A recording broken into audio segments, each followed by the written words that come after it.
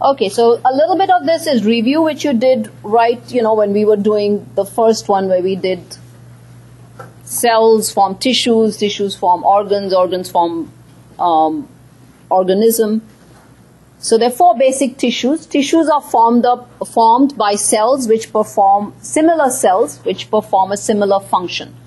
So all epithelial cells, for example, will form epithelial tissue. So these are the four basic types of tissue.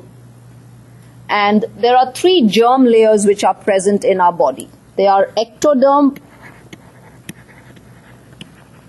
mesoderm, and endoderm. If you look at a fetus from the outside, so if I draw a fetus like this, and you know, this is where the eye is, this is where the limbs will form, little fetus. Ectoderm is on the outside, so if you remember this way, it's on the outside, so it'll give rise to skin, like the epidermis of skin. Uh, not muscles. Uh, ectoderm outside gives rise to epidermis. Endoderm is on the inside. So from here, if I draw the mouth and you know the digestive tract and so on, so it's inside. The inner lining is formed by endoderm. So this on the outside is ectoderm. On the inside, the inner lining so the epithelium of the gastrointestinal tract, the um, epithelium of the genitourinary tract, that's again endoderm. And in between, this area in between is mesoderm. So mesoderm usually gives rise to the in-between tissue like muscle, bone, connective tissue that comes from mesoderm. Some mesoderm gives rise to epithelial tissue also some glands are formed from mesoderm. So that's why we see epithelial tissue arising from all three germ layers. Connective tissue is from mesoderm, muscle is from mesoderm, nervous tissue is from ectoderm because the ectoderm, this outer layer, actually dips inside and forms the brain and spinal cord. So nervous tissue is from ectoderm. It's called neuroectoderm.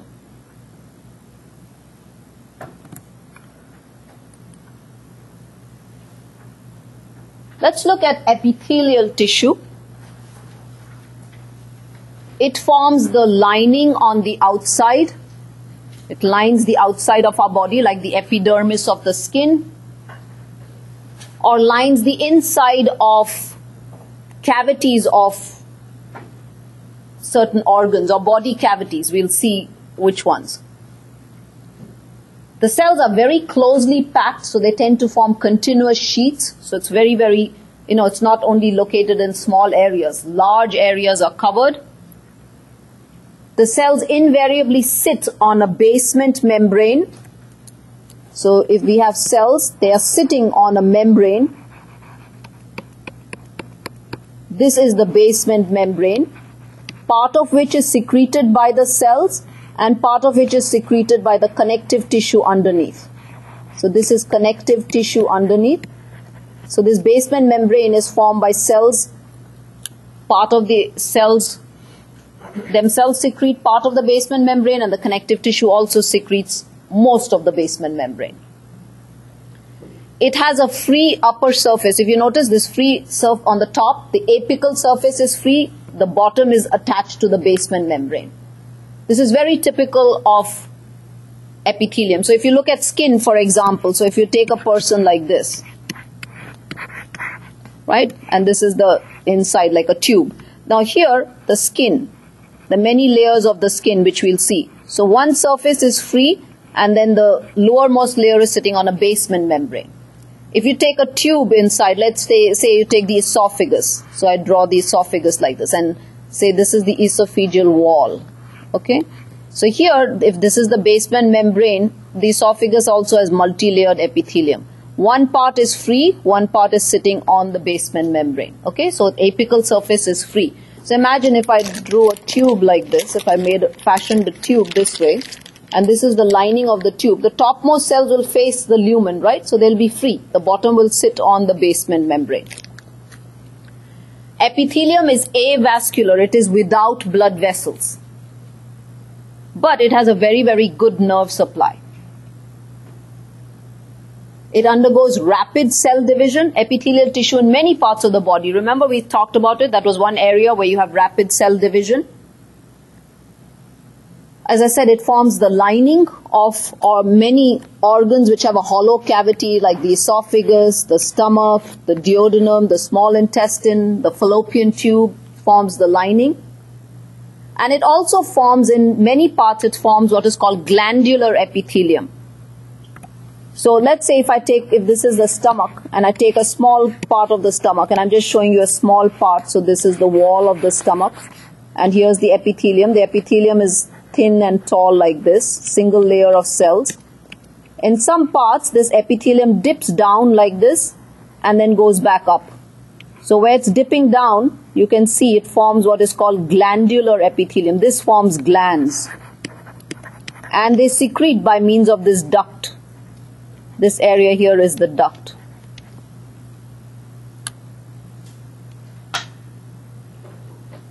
So from this you can see the functions of epithelium. So I've already said it secretes, so secretion is one function. Since it has this free surface, it can also absorb.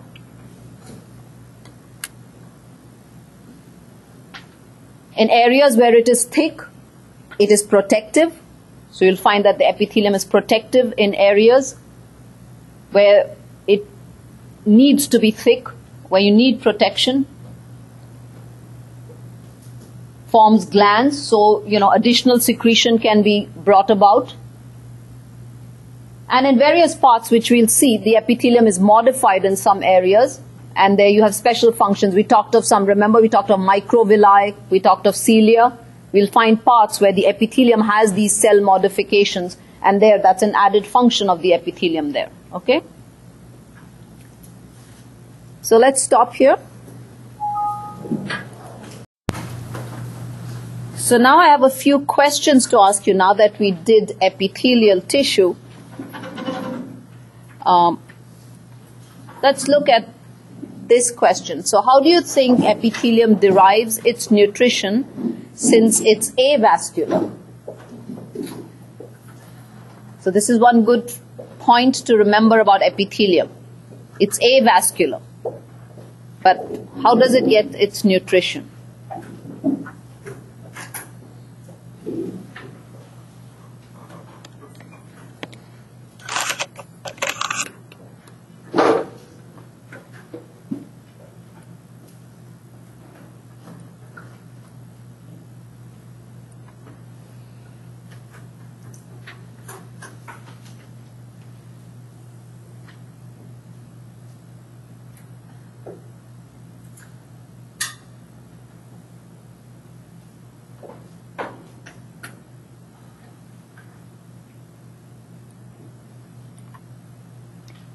Okay, well, 60% got it right. Yes, it is through the underlying connective tissue. Nutrition is not through the air or through the luminal contents. It's through connective tissue. Remember, epithelium always rests on a basement membrane, and the basement membrane is secreted both by the epithelial cells and the connective tissue underneath.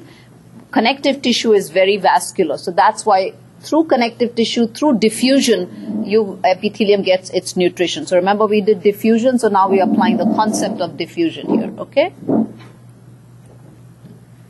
Okay, another question. Why do you think epithelium regenerates rapidly?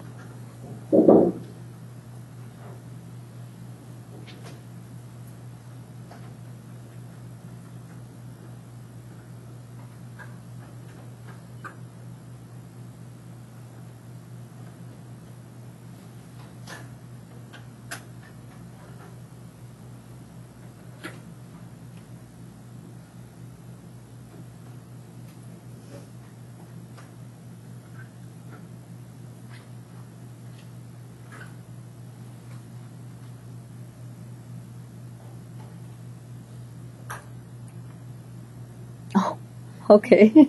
well, the correct answer it is constantly abraded. So let's look at this.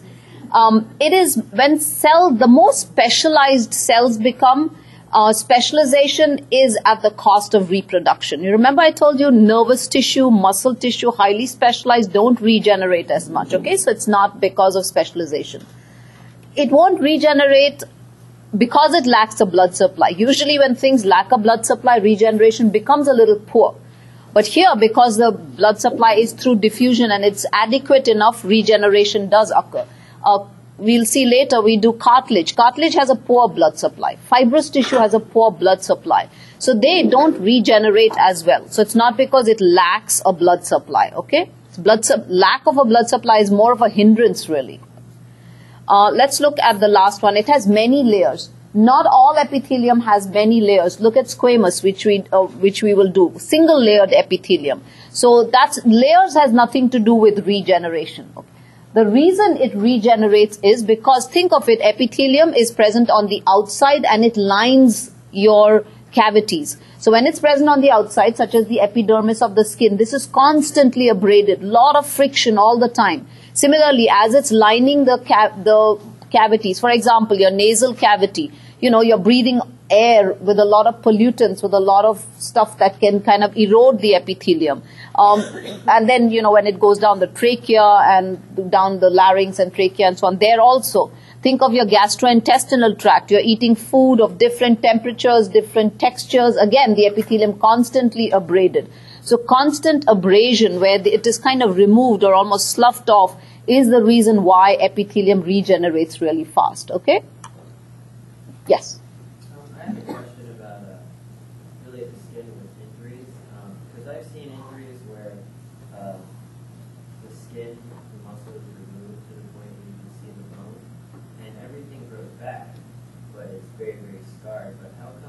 Um,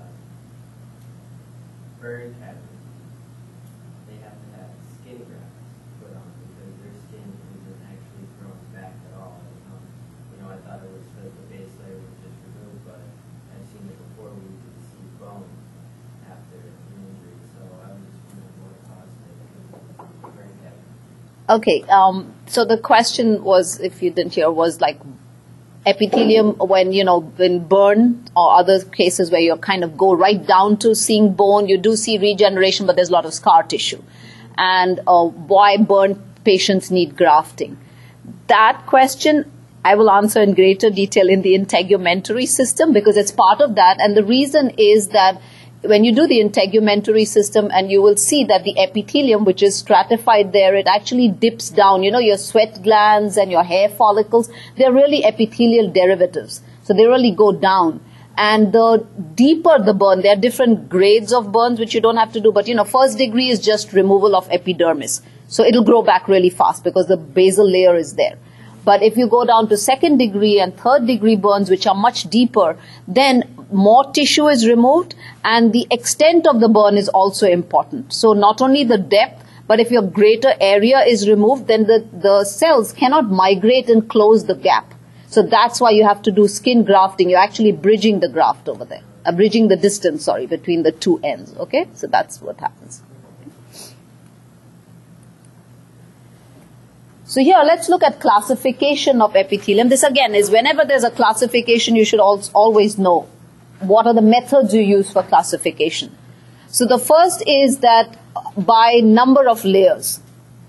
So if it is single layered, we call it simple epithelium.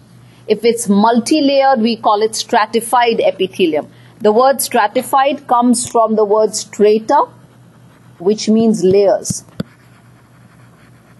you know, when you were in school, in elementary school, you must have done the earth layers, the strata. I don't remember them in order, so I'm not even going to go there. But the different layers that there are on the earth. So strata is, is a word we use for layers. So stratified means multi-layered. Okay. So based on the number of layers, single layered is simple epithelium. Many more than one layer, we call it stratified. And then we have one which is in between, which is called pseudo-stratified. The word, word pseudo is not real. So this gives a false appearance of stratification. So the nuclei seem to be at different levels, but actually all cells reach the basement membrane. So that's why we say pseudo-stratified, not real stratification. Cells are not present truly one on top of the other, but just different heights gives it a false impression. So that's one way of classifying it.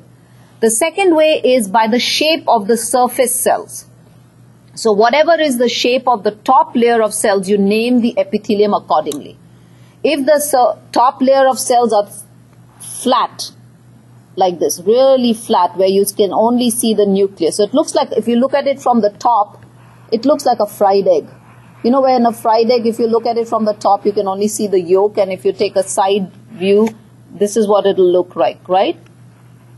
The yolk is in the center. So very thin. So this is squamous epithelium.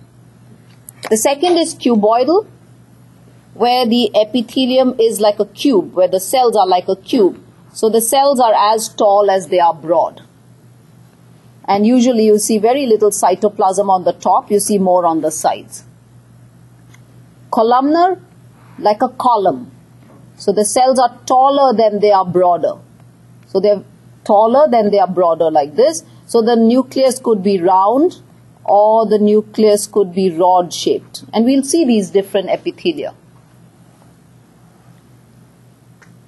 So based on the top layer of cells, you may have many layers where the bottom layers could be cuboidal or columnar. But if the top layer is squamous, since it's many layered, we will say it is stratified.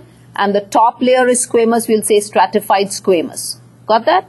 So if it is, for example, you have a single layer and it is cuboidal, we'll just say simple cuboidal epithelium or simple columnar epithelium or pseudo-stratified epithelium because it's pseudo-stratified. Suppose we have a layer where the top layer is is uh, columnar and there are many layers, we'll call it stratified columnar. Okay, so you see how you're using both.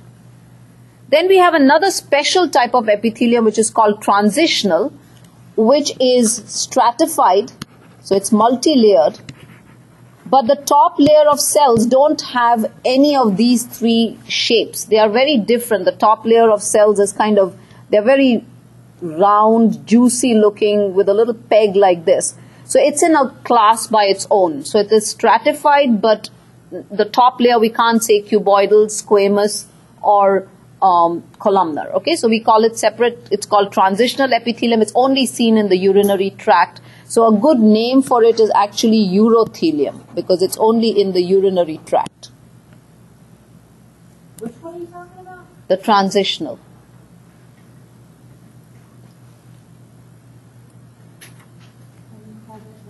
Urothelium, urothelium. We'll go over that. Uh, this was just a general introduction. So let's now look at simple squamous epithelium. So remember, epithelium always rests on a basement membrane and under the basement membrane is connective tissue, which you can see here. Here is a blood vessel. So notice a blood vessel here and that's how through diffusion the nutrients will go to the cells. As you can see, very, very thin cells, the, if you look here if on a cross section, you can see that this, only the nucleus can be seen. You can barely see the cytoplasm. And this, again, you can see in this area, see here, you can see the nuclei really well, barely see the cytoplasm. You can just see the basement membrane and the nuclei. So flattened cells with very little cytoplasm. And here are some pictures, actual histological pictures. This is a blood vessel here and here is the lining of the blood vessel, which in, what is the lining of a blood vessel called? The special name for it is endothelium.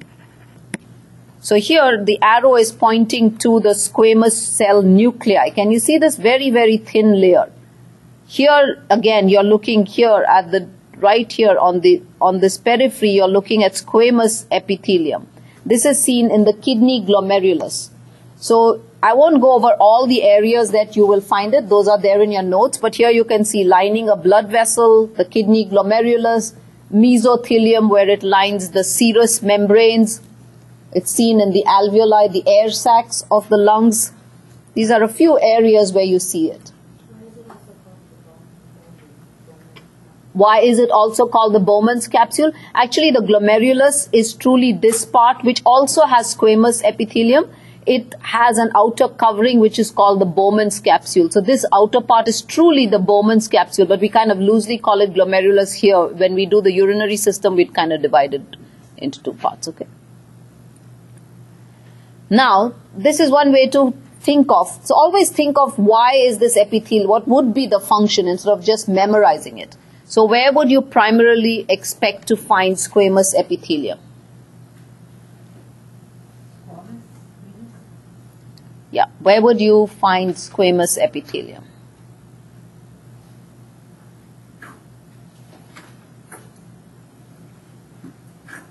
and use it to your what happens every day. Squamous epithelium, like I said, thin flattened cells. It's like having a thin wall. So if you were to build a house, where would you put thin walls? Something like that. I mean, you know, think of it that way.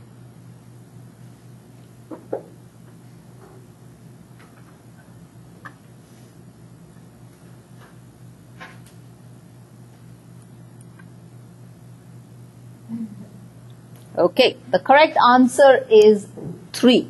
Number three, where diffusion is needed. When you want protection, you want something thick. You don't want something really thin. Can you see how flimsy this is going to be? So stratified epithelium, which has many layers, is a thick epithelium. That's going to be there where you want protection. Secretion, remember secretion comes from cytoplasm. We did the cell. The cell has those cell organelles, Golgi bodies which secrete, you know, areas which secrete a lot, have a lot of Golgi bodies and they secrete proteins. You have a lot of uh, endoplasmic, rough endoplasmic reticulum as well. Here you have very little cytoplasm. So with the result, there's going to be not too many Golgi bodies or too much rough endoplasmic reticulum. So copious secretion is not possible. It's not going to be able to produce lots of secretion. Cells which have more cytoplasm, like a columnar cell, will be able to secrete a lot more because there's a lot more cytoplasm. Okay? And areas that need support, again, thin, flimsy. So it's not going to be very supportive. So that again is not one of its function. Its function is where you need diffusion. And think of the areas, I said alveoli of the lungs. Gases diffuse across the alveolar wall. Carbon dioxide goes into the alveolus, you breathe it out. Oxygen goes through the alveolus into the capillaries. Capillaries also have thin epithelium, this endothelium, right? So that's where it is, where diffusion is needed. So that's the function of it. In the filtration, uh, in the kidney glomerulus, that's the area where filtration occurs. Remember, filtration is is diffusion but pressure based on pressure not on concentration so again can you see that when you need it to be thin walled so that it can pass through real easily it's like a cheesecloth okay so you can pour things down, comes out easily. Where is the renal cortex located? That's in the top of the kidney. Okay. Let's look at the next um, cell, uh, next type of epithelium, which is cuboidal. As I told you, these cells are as tall as they are broad. They are like a cube. So you see cytoplasm on the sides, but usually very little cytoplasm on the top. So can you see here? Looks like a necklace of beads. And here again, look at these cells, you know, not as tall as they are broad, not too much cytoplasm on top. You can see that little bit, but not too much. Here again, you can see these. So you can see the nuclei really well. And look at this cytoplasm on the sides, but very little on the top. So these, again, are not, because the, there's not too much cytoplasm, these won't be able to secrete as much. But since they are not as flimsy as, a, as squamous epithelium, you usually find these in small ducts. You find it in glands like the thyroid gland, the epithelium covering the ovary, you know, other areas which I've given you. And the reason why it helps is because it's got some height to it, so there's some thickness to it. So it kind of helps, it acts a little bit like a support. It helps to keep the tube open because it's present in ducts, in glands. So it keeps the tube open or what is known as patent. Patent means to keep it open. So it keeps all the ducts open. It doesn't allow them to collapse. So that's where you'll see cuboidal epithelium.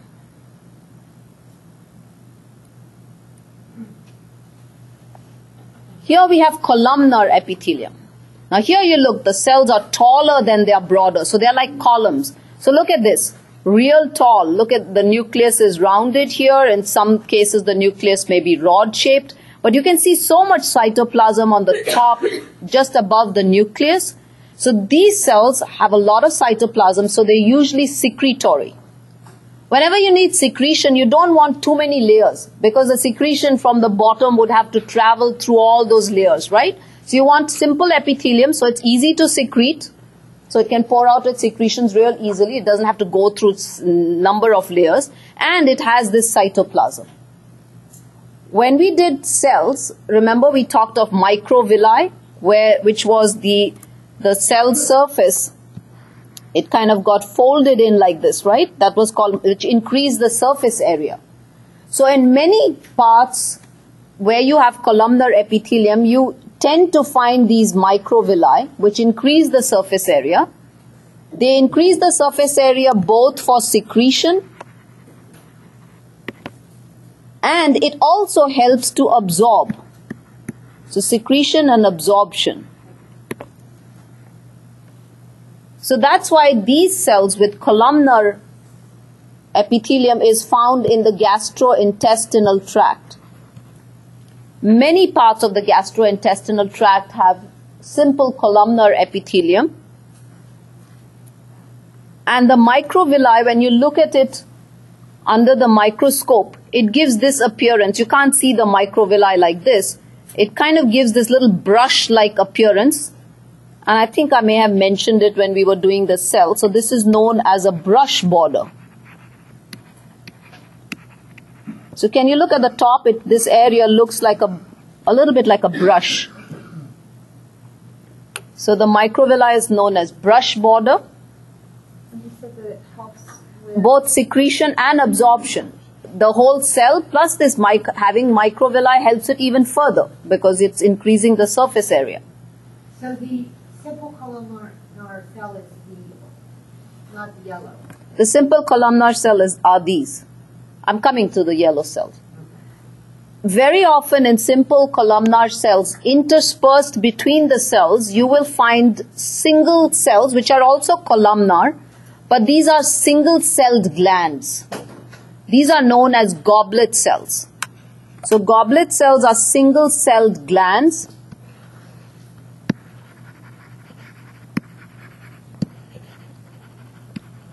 They secrete mucus. They're called goblet cells because they look like a goblet, look somewhat like a goblet. They secrete mucus, which is very thick. Histologically, when we process the tissue and we use alcohol to process the tissue, alcohol removes mucus. So the cells actually tend to look rather empty or frothy. So you can see here, these are what goblet cells look like. You can see the mucus in the goblet cells looks frothy or empty looking because the mucus has been removed. Mucus helps, it's helpful. You find goblet cells in the respiratory tract. You will find it in parts of the fallopian tube also. Mucus is very thick. The reason you find it in the respiratory tract is because you want, you know, you are breathing all kinds of particulate matter. So it will kind of trap the particulate matter and make sure that it doesn't go down into your lungs. You also find goblet cells, mucus is alkaline in nature. You find goblet cells in the GI tract also. So in the GI tract, in some parts of the gastrointestinal tract, you have columnar epithelium with goblet cells because you want to neutralize the acid which is coming from the stomach. So in the small intestine, you'll find this kind of epithelium with goblet cells to helps to neutralize the acid. So the medium becomes alkaline very soon.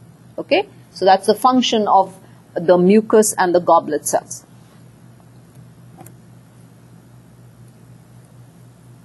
This is an example where, so there we saw microvilli in that previous slide.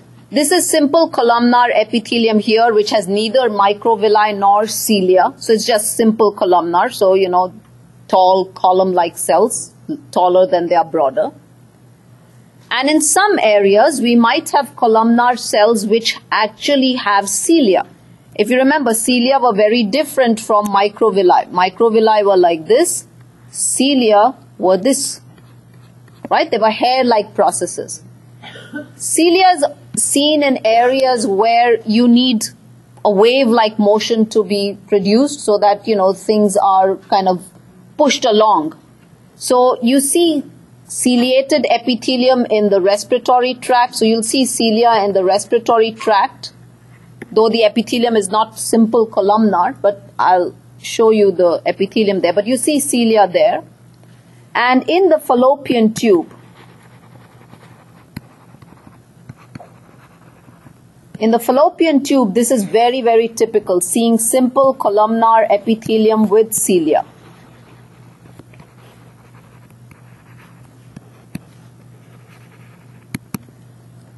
Yes.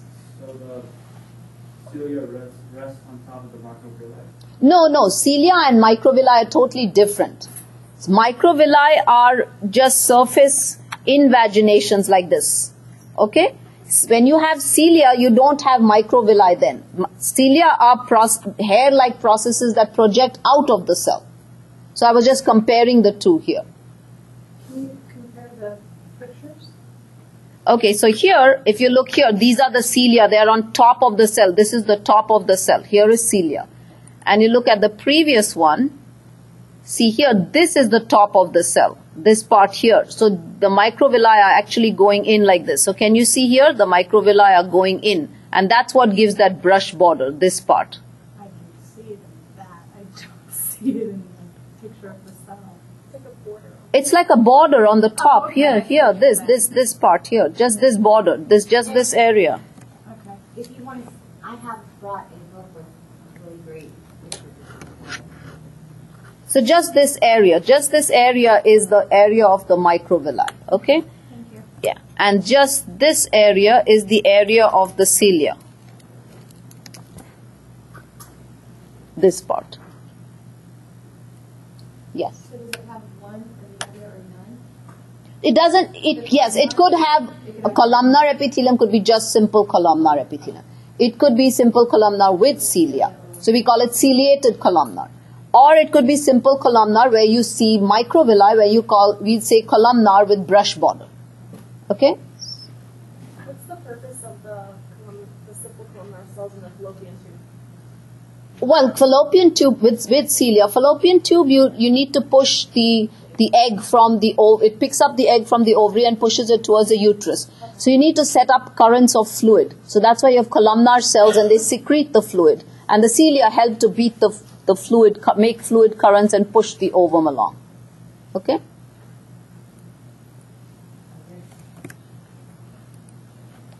Now let's look at the next one, which is between stratified and simple, and this is pseudo-stratified.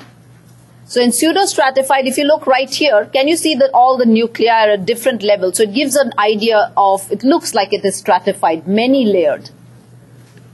But if you look at the picture when we draw it, either here or here, all the cells touch the basement membrane. So if you notice, all the cells touch the basement membrane. They're just of different heights. So with the result, the nuclei are present at different heights. So that's why we call it pseudo-stratified. It's not true stratified. In, in stratified epithelium, one layer has to sit on top of the other. So you have to have one layer sitting on top of the other. So in this, they all touch the basement membrane, but the nuclei are different levels because some are tall, some are small. So that's why it's called pseudo-stratified. Most of the cells are columnar, so that's why we usually call it pseudo-stratified columnar epithelium. This kind of epithelium, when it has cilia, then we add pseudo-stratified ciliated columnar. So if it has cilia, we'll say pseudo-stratified ciliated columnar. In other words, you're just trying to give more information about the kind of epithelium there is.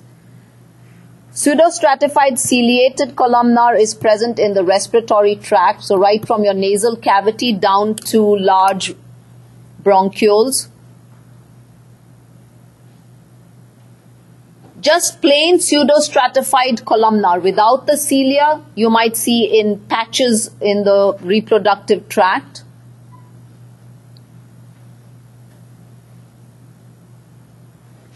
And this same pseudostratified columnar might have goblet cells, especially in the respiratory tract. So you can see here you have goblet cells, and I gave you the function there because you want to trap particulate mat- matter.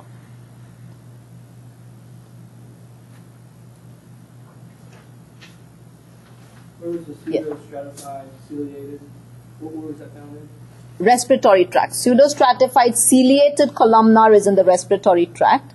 Just plain pseudostratified columnar without the cilia, you see patchily in areas of the reproductive tract.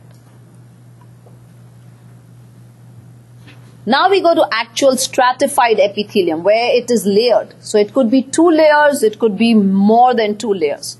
But the moment you have two or more, you immediately call it stratified. You give the second part, stratified whatever, that second part of the epithelium is based on what the top layer of cells looks like. It doesn't matter what the bottom layer is like. Whatever the top layer is, that's what you'll call it. So if the top layer is cuboidal, you will say stratified cuboidal. If the top layer is columnar, you will say stratified columnar. If the top layer is squamous, you will say stratified squamous. So that stratified is the first one because it's many layered. And then the next part of the epithelial name is based on what the top layer is, okay? So here we call it stratified cuboidal. So you can see two layers. Usually stratified cuboidal is made up of two, maybe three, most of the time two layers. The bottom layer could be cuboidal or columnar, it doesn't matter. The top layer is cuboidal. And here you can see the two layers. So you'll see nuclei at two levels. Can you see this? Nuclei at two levels, right? So tell you that this is two layered. Okay? Stratified cuboidal is often seen in large ducts, very often seen in very large ducts. Again, that gives strength and support to the ducts and also maintains the patency or keeps it open. Compare this to the next one, which is stratified columnar. Now, stratified columnar could be so many layers, or it could be just two layers where the lower layer, layer could be the bottom layer could be cuboidal or columnar, but the top layer is definitely columnar. Can you see this? The top layer is definitely columnar. The bottom layer could be cuboidal or columnar, it doesn't matter. Rarely do you see so many layers. Most of the time you see only two or maximum three layers. It's a very rare kind of epithelium. You don't see it continuously in any area. Again, seen in large ducts, there may be patches of it. So part of the duct may be stratified cuboidal and somewhere else maybe a little friction or something, it becomes stratified columnar. Okay? So not all that easy to see. Uh, fine, sometimes you do. But here you can see again two layers of nuclei. Can you see that? And the top layer is columnar because you see a lot more cytoplasm on the top. Okay? So this is stratified columnar. Yes. api- the apical surface just simply means the top layer. A- apical surface means the top layer, the one that is facing the lumen or the outside. Yes.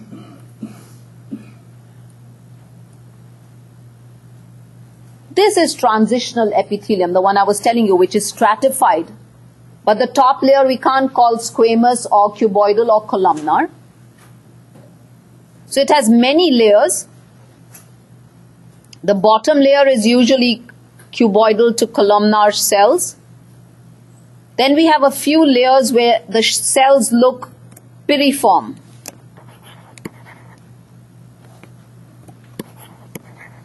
Piriform means pear So here, if you look, these are the piriform cells. So you have about two or three layers of these.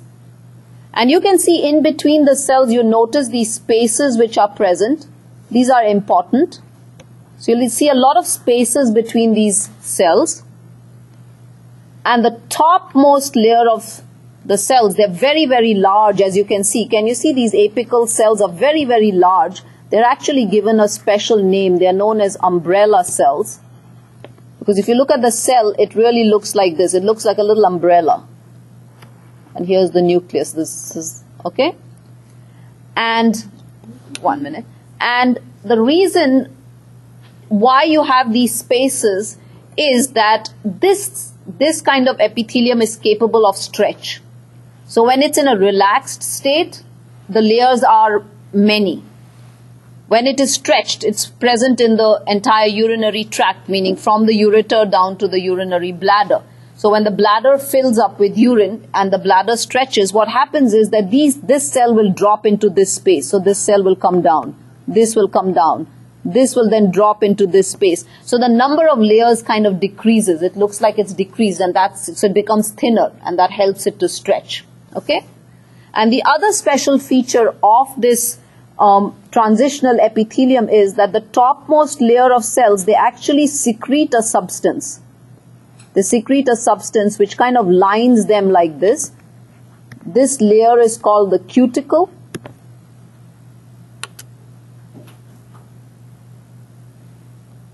And this does not allow water to pass through because this is lining the urinary bladder. So imagine this is the urinary bladder and here's your epithelium. This is the topmost layer and here are all the bottom cells. And here is the cuticle.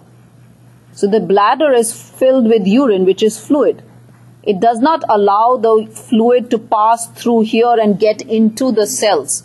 So this cuticle is impervious to urine. Impervious means it doesn't allow urine to pass through and get into the walls. So, two functions it is stretchable and it's impervious to urine, which makes it the ideal kind of epithelium to be in the urinary tract. You had a question? Um, the umbrella cells are on the top. The umbrella cells are only on the top, yes. Then they're called umbrella cells on the top. Very fat, plump, juicy cells. Okay? And everywhere notice that there is a basement membrane on which these cells sit and the apical surface is the free surface. Can you show me where the basement membrane? This here is the basement. Over here, here is the basement membrane where the cells begin from. This one here. Here is where the basement membrane is. Here. Let me go back to another slide. This is the basement membrane. In between the connective tissue, right? Yes. This is the basement membrane. Previous slide. This is the basement membrane. You can never, you know, it's easier to draw the basement membrane than to actually, you will not see a, a, a, a very nice line. But you, I was wondering. Yes, but you can always tell because you can see that the nuclei begin from there. There is a very definite arrangement from there onwards. In the tra- transitional epithelium, actually, the basement membrane is even more ill-defined than in other other epithelia.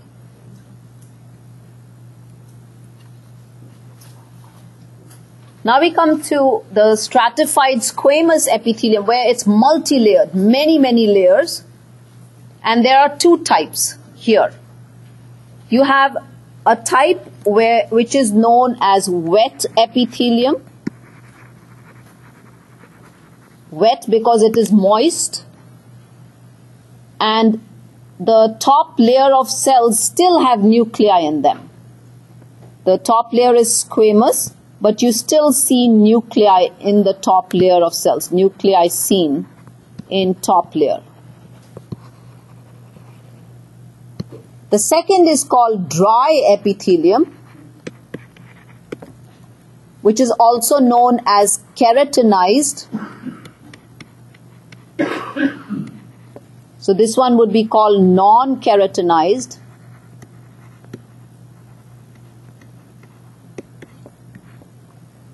And if you look at this picture here, you can see that there are no nuclei seen here in this top layer because keratin consists of dead cells. So the cells have now died and they've lost their nuclei. So no nuclei in the topmost, it's all just pink, homogeneous, meaning all like one clump. These cells have nuclei here, but then these are the top layer. They're actually made up of cells like this, which have lost their nuclei. And these are dead cells. And this type of epithelium, the dry keratinized epithelium, is what is present on your skin, in the epidermis of skin. So when you scratch your skin and the flakes that come off, that is this keratin which is being shed, this dry top layer of dead cells which is flowing, which is coming off. So dry kerat or dry epithelium or stratified squamous keratinized, which is this one, is seen. Its exam keratinized is seen in the epidermis of skin. So here you can see you can see nuclei till here, and then after that, can you see all of this is just pink because here the cells are if you had a little higher power, this is what you will see. This is how the cells look, but no nuclei because they're all dead cells. Compare that to this one, which is the wet epithelium or known as non-keratinized, where you can see nuclei right till the top. So you can see these cells, they're all living right till the top. This kind of epithelium is seen in the oral cavity, in the mouth, wherever a lot of abrasion is there. Oral cavity, pharynx. You see it in the anal canal, the vagina, all these areas. So multi-layered, you see so many layers. So just, you know, you can't even count the layers. So it is very, very thick epithelium compared to whatever we've seen so far. So what do you think would be the function of this kind of epithelium?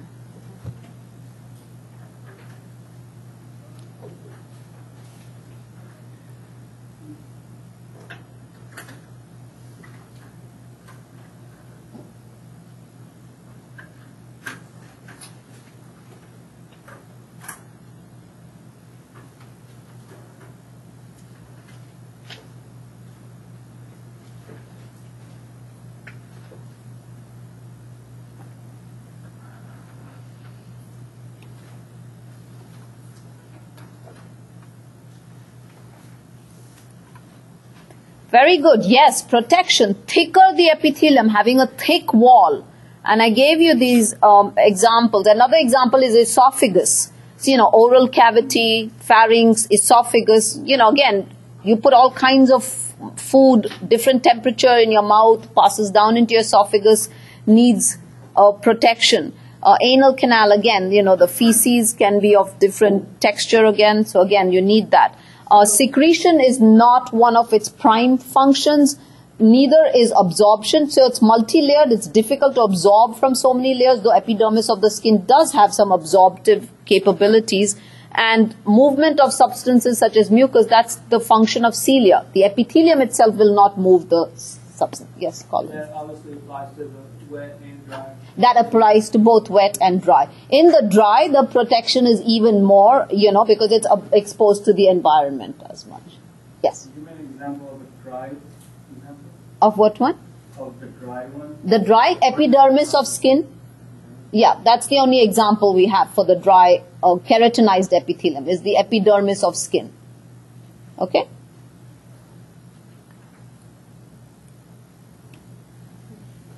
Let's look at glands. Glands are really epithelial derivatives. And when I'm talking about the glands which are epithelial derivatives, those are what we call exocrine glands. So exocrine glands secrete, they have their secretions and they pour it by means of ducts. So exocrine glands are also called glands with ducts. So here you can see different ways that a gland can be formed. This is the surface epithelium. This blue line is the epithelium. And let's say in one part, and I'm taking a part of the small intestine, so this epithelium dips in like this and forms a small short gland. So the lower part of the gland is the one which will secrete. And then, you know, you've got a small area which does not secrete but just transports whatever is being secreted to the lumen. So this will be called the duct. Here you have a gland where the epithelium went in but decided, you know, I'm going to do a little bit more work. I'm going to make it look, look a little prettier. So it's got three kind of little prongs to it. And these are all the ducts that you see. Here's one which has got a different shape. So you can see how the epithelium can kind of go in and, you know, how it can form. And whenever we take a cut section, whether we take a cut section here or we take a cut section of this, this is how we'll see it. We'll see a cut section and we'll see the epithelium, which could be cuboidal or columnar, depending on where it arose. Usually, the epithelium of the duct is cuboidal because you don't want this to be too tall because if it is very tall, then it will close off the lumen, right? And you won't be able to pour your secretions. Okay? So that's how a gland is formed. These exocrine glands, they pour their secretions. You know, remember we did exocytosis, right? Most of them pour their secretions by means of exocytosis. So you can see the Golgi rough endoplasmic reticulum forms the secretions which are usually proteinaceous in nature, transfers it to the Golgi complex and by exocytosis it pours it out. This kind of The way this is secreted is known as merocrine secretion. So most exocrine glands in your body pour secretions by the way of merocrine secretion.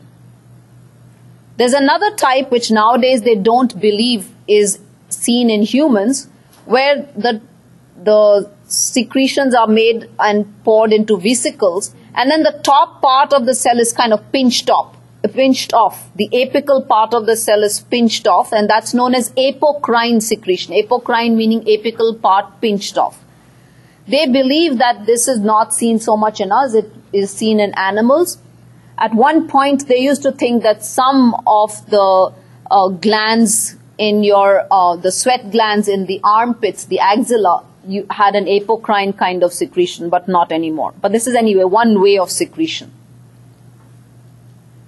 and a third type way one secretion can occur is where the cell actually the entire cell ruptures and pours all its secretions out so it kind of just bursts and that's known as holocrine secretion and then the bottom cells, they undergo mitosis and regenerate. So you keep making new cells and then the tops, the cells will just rupture and pour all these secretions. This kind of secretion is seen, and when we do the integumentary system, we'll see it. This is seen in sebaceous glands. These are present in skin, sebaceous glands.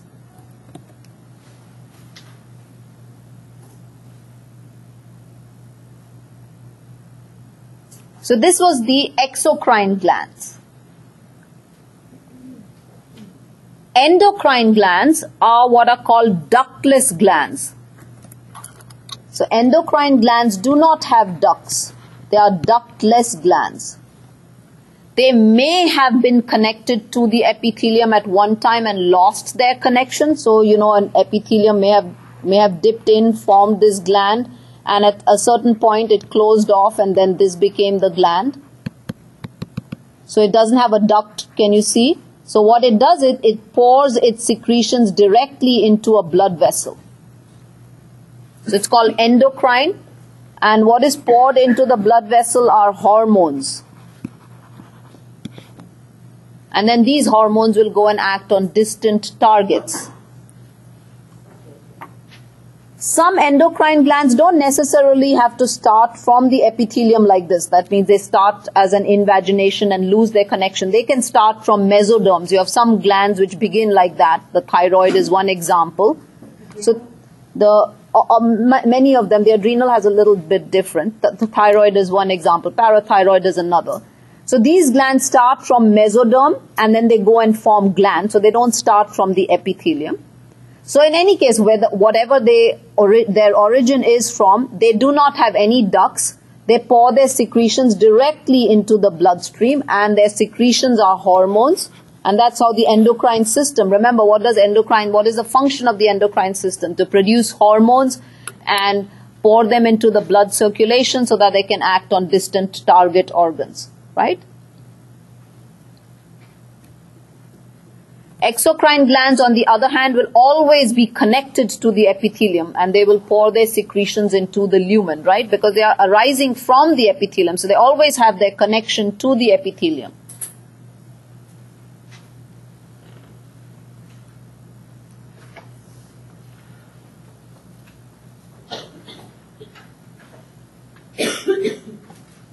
Let's look at the next type of tissue now. So we're done with epithelium. So that is the topmost layer whenever you're looking at any organ. An organ is made up of tissues of different types. So epithelium could be one of the tissues which, it, which is lining the organ. Then we have connective tissue, which is the predominant tissue in the body. It has three main constituents. In order to be called connective tissue, you have to have cells, you have to have fibers, and you have to have ground substance. The fibers and ground substance are secreted by the cells and together the fibers and ground substance are known as matrix. Okay, so it has cells and matrix. What is matrix made of? Fibers and ground substance. So that's why I said you have cells, fibers and ground substance. The cells are always like any normal cell in the body. The matrix, its consistency could be liquid fluid like plasma. Plasma is the ground substance of blood. Blood is a type of connective tissue. Or it could be jelly-like. Uh, you know, when you see when you'll see connective tissue, um, for example, adipose tissue is a little jelly-like. Even cartilage, to a certain extent, is kind of jelly-like. Or it could be really hard, like bone. Bone is very very hard, right? So you can see how can it from fluid it can go all the way to being really hard.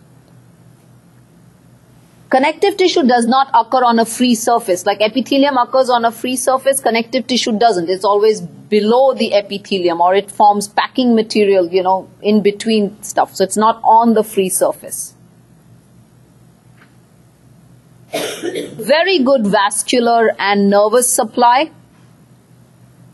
Some areas like cartilage and tendons and ligaments, tendons and even ligaments these don't have a good blood supply. So with the result, they don't heal as well. If they are torn, they don't heal that well. So let's look at some of the cells and some of the fibers of connective tissue. The ground substance is the, the material or the substance in which the cells and the fibers are kind of embedded in it. Okay? So to give you an example, for example, blood, when we do blood, we'll see blood is called uh, connective tissue, but it's an atypical type of connective tissue because the cells in blood are red blood cells, white blood cells, and platelets. And we'll do that, so you don't need to write it down. We'll be doing blood separately. So you're, you're, you know, they are floating in plasma, which is the ground substance. The fibers are fibrinogen. You know, when your blood clots and you form the, these little threads, that fibrin threads, so those are the fibers of blood. So you can see how they are dispersed in that. So ground substance is all this, this part here, which could be liquid to really solid. But let's look at the types of fibers that you could see in connective tissue. You could see fibers which are very thin, usually occur singly, that means they're single, maybe branched. Can you see these branching going on here? You can see another branch here. This is known as elastic fiber. So sometimes when elastic fiber is cut, you might see it recoil. It's like a rubber band, you know, it's thin and elastic. You might see the end curled up like this because it's elastic. So the elasticity, you know, it kind of gets torn at that part and that's how it curls up. So that's one type of fiber you see. Then you might find fibers which are very extremely thin, even thinner than elastic fibers. They kind of form little networks. These are known as reticular fibers. So you can see that here. Very, very thin reticular fibers. Reticular fibers are usually seen in lymphatic tissue. They are very helpful in forming a framework.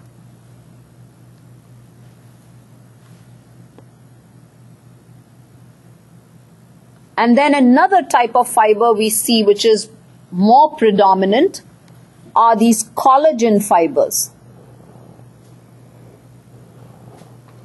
These collagen fibers, which are the ones in blue. And just by looking at it, can you see they tend to run in bundles?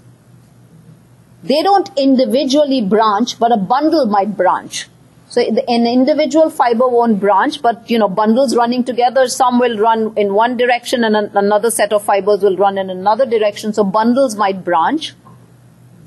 They have great tensile strength, so very, very strong, these collagen fibers. So these are the main types of fibers that you see.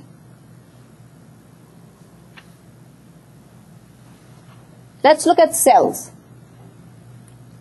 All of connective tissue actually comes from primitive stem cells which are known as mesenchymal cells. These are the primitive stem cells and in your body, your mesenchyme is the one which kind of goes and gives rise to all the different types of connective tissue.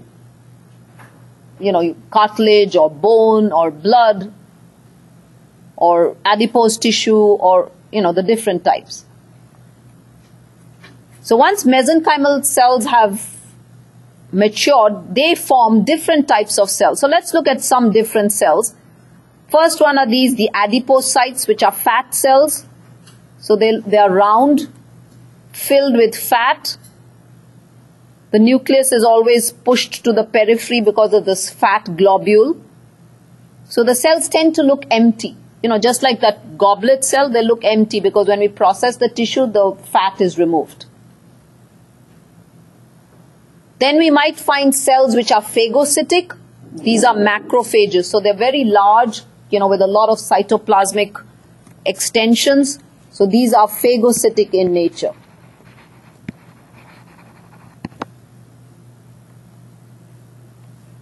Then we'll see a few blood cells such as eosinophils. We might see some plasma cells, neutrophils. These are blood cells. When we do blood cells, we'll talk about them. In connective tissue, it's not uncommon to find mast cells. These mast cells have these granules. Can you see these granules present inside?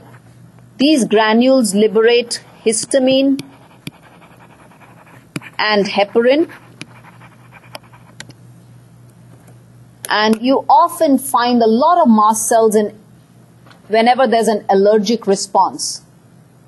A lot of mast cells are seen in that area because histamine and heparin is, is secreted and that causes your blood vessels to dilate and fluid goes out. That's why whenever you have an allergy, you take something called antihistaminic to prevent that histamine release. And then the main cell of the connective tissue is this fibroblast, this big cell up here, which you can see it's kind of star shaped. This is the one which actually gives rise to all the fibers. So is this fibroblast. So this is the main cell, this green cell, the main cell of connective tissue.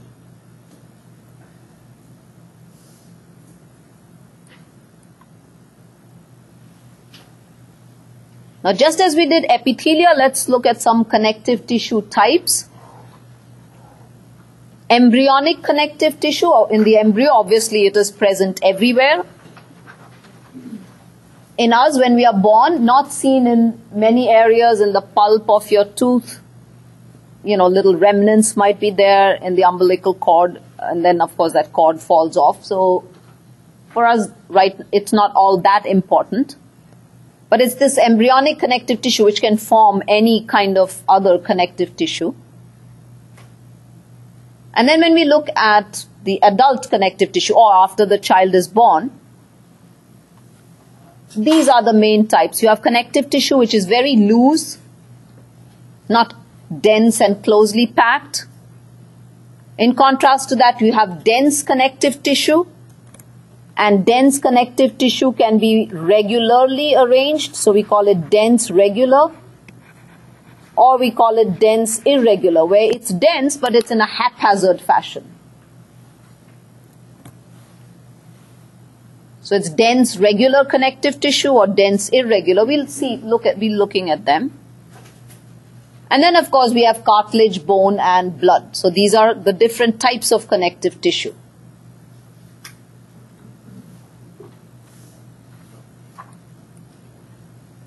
Let's examine loose connective tissue. So it's loose. So there's a lot of ground substance. The fibers are not closely packed together. So you see a lot of ground substance in between the fibers. So one example is loose areolar tissue. Loose areolar tissue. If you've ever gone to the grocery store and you've bought a steak and you know you, you know the marbling, the fat that is there present in between. But sometimes when you, even when you're separating it, or even, you know, when you're cleaning chicken and so on, and you get this little slimy, uh, kind of whitish stuff that you wash off, that is the loose areolar tissue that you're, you're talking about. And even in, when you separate, you know, muscle pieces in between, you kind of get a loosish tissue, that is loose areolar tissue. So is it the real thin? It's it's thin and slimy kind of you know. It's it's got a little fluid in it okay? Loose areolar tissue. So you can see these are collagen bundles with fibroblasts. You may have lymphocyte mast cells elastic fibers and all these spaces contain fluid because that's where the ground substance is. Another loose connective tissue is adipose tissue or fat tissue where these cells are the cells are closely packed, but the tissue itself is quite loose. It can kind of be compressed or spread. Each cell is filled with lot of fat globules.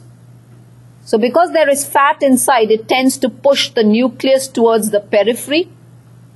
So there's very little cytoplasm because most of the cell is taken up by the fat. Very, very little cytoplasm or matrix.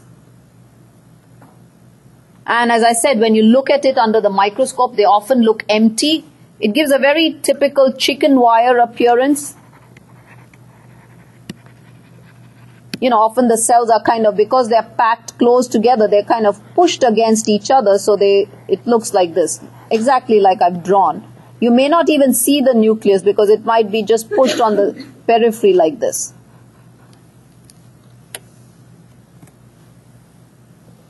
Adipose tissue is seen under your skin, under the dermis, where it's subcutaneous tissue. It's protective, so it's often seen around organs, acting as a protective coat around organs. It also is seen where blood vessels are, so blood vessels often lie in fat. Again, it protects them.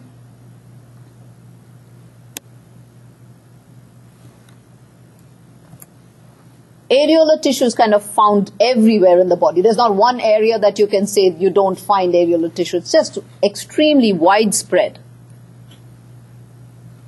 And here are some pictures of that. So here you can see areolar tissue. So look at these collagen bundles. The single ones, dark ones are elastic fibers. These dots are probably nuclei of fibroblasts because fibroblasts are most numerous.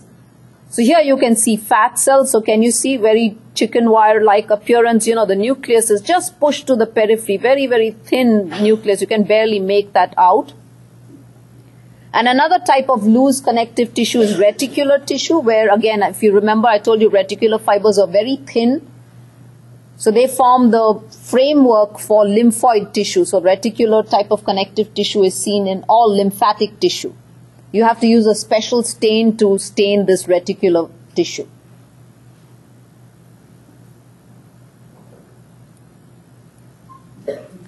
Now, what do you think would be the function of loose connective tissue? And especially areola, but any of the loose connective tissue?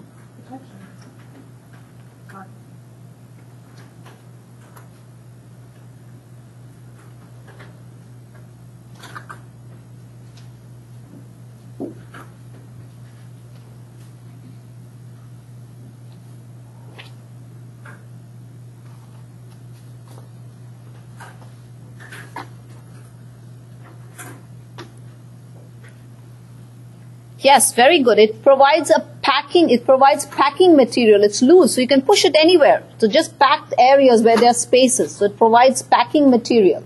Not very strong. Strength is where the fibers are densely arranged. So dense connective tissue is more strong than loose connective tissue.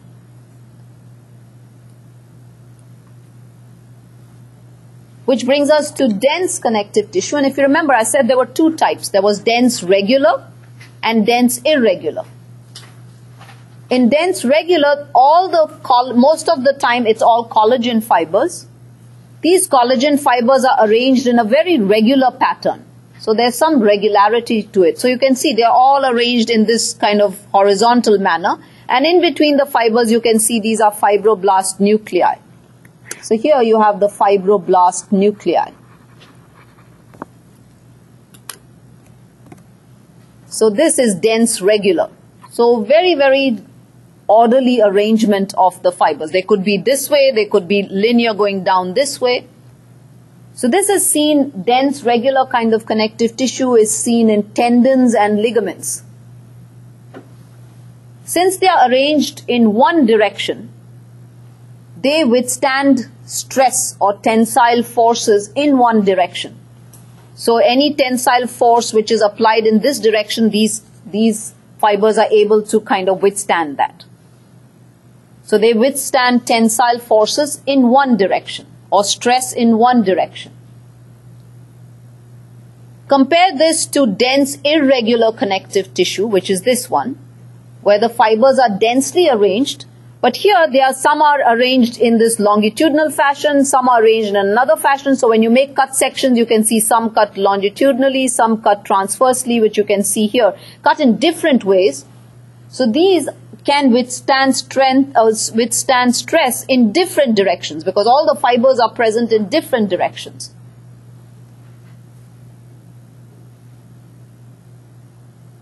These are often seen in capsules of joints, surrounding capsules of joints in the dermis of the skin. This is an example of dermis of the skin where you have to withstand forces in different directions. So dense irregular is seen in such areas. So again, you must know the function and you must know where it is found, okay? Where's the, uh, the regular? Tendons and ligaments. And where you say, uh, irregular was found? Capsules of joints in the dermis of the skin, submucosa of the gastrointestinal tract. You see it all in these areas. What does aponeurosis mean? Aponeurosis is a flattened tendon. Aponeurosis is so it's it's again it also is seen dense regular. Aponeurosis is a flattened tendon.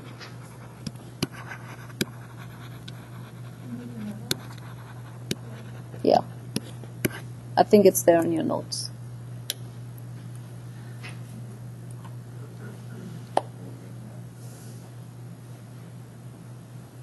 Aponeurosis.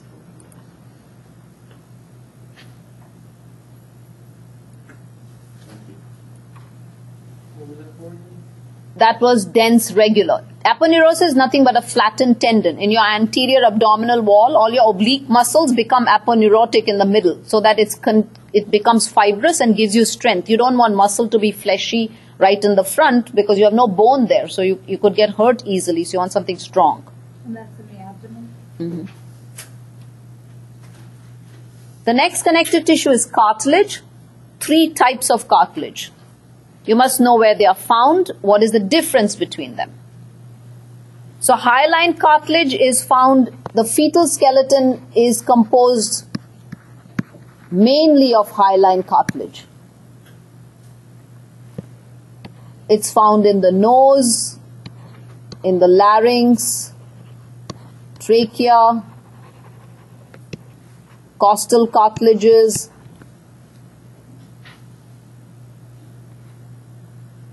At the ends of long bones, so if you have a long bone, so let's say we have the humerus here, at the end of the humerus, on the upper aspect of the humerus, you have this hyaline cartilage here present, where this humerus is going to form the shoulder joint. This kind of hyaline cartilage is known as articular cartilage. Articular to tell you that it's going to form a joint or articulate with another bone.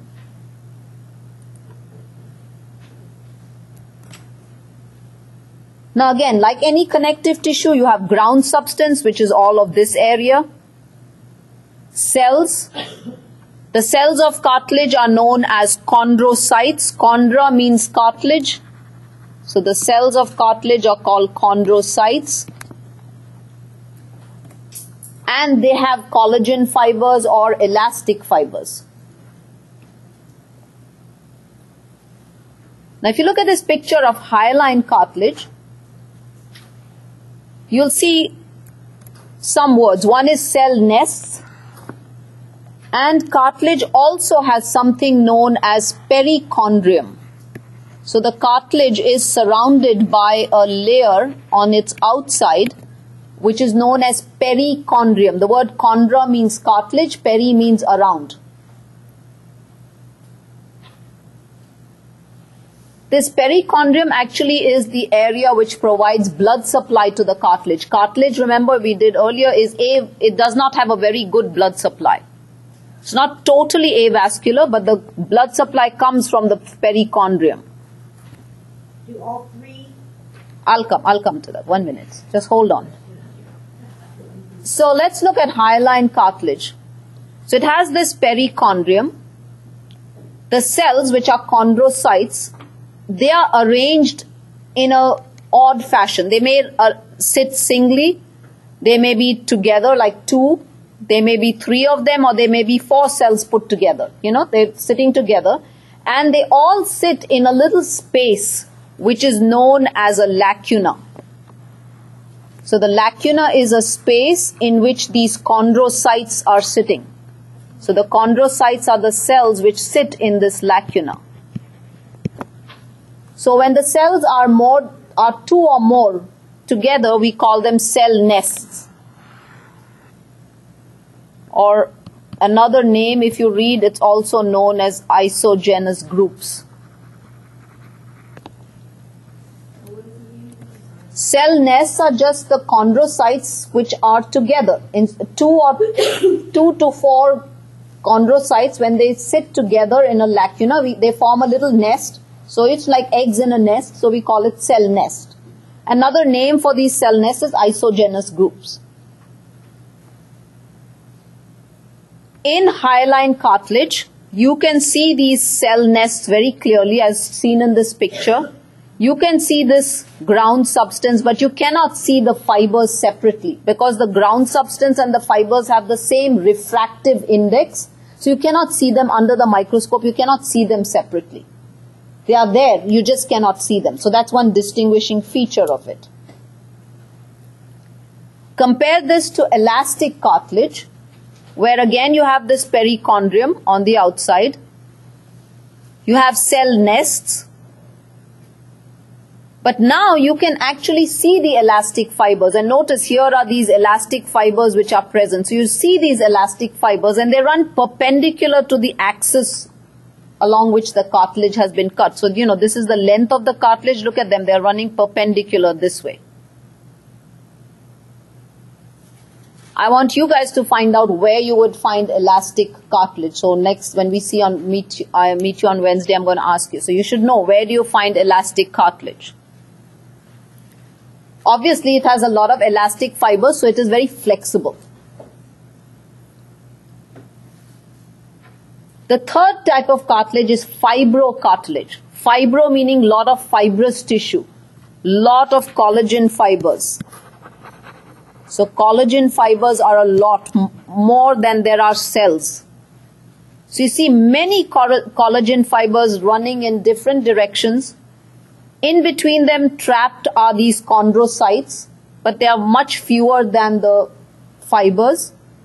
You don't see cell nests as much. And there is no perichondrium in fibrocartilage. So fibrocartilage lacks a perichondrium. Another type of cartilage which lacks a perichondrium, if you remember, I told you that articular cartilage, that hyaline cartilage which was present on the surface of long bones where they've formed a joint. This also does not have a perichondrium. So whenever you get things like this, exceptions to the rule, always kind of make a note of it. So two places where you don't have perichondrium is articular cartilage, which is hyaline, and fibrocartilage, you don't have perichondrium. Okay?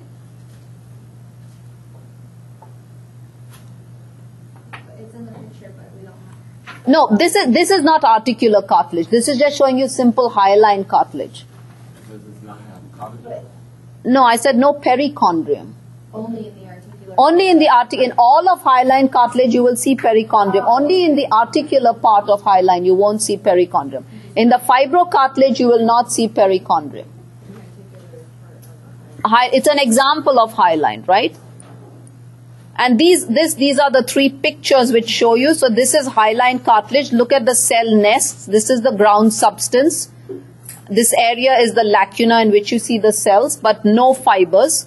Look at elastic cartilage. This part here is the perichondrium. In, in this hyaline, you're not seeing perichondrium. So here is the perichondrium. Look at the elastic fibers going in a perpendicular fashion. Cells, cell nests. This is fibrocartilage. Can you see how sparse the cells are? More fibers, less cells. It's been taken from the center, so you can't really tell, but it doesn't have any perichondrium. Okay? So these are the three different types. I want you to find out where do you find elastic cartilage, where do you find out, where do you find uh, fibrocartilage, and what is the function of fibrocartilage.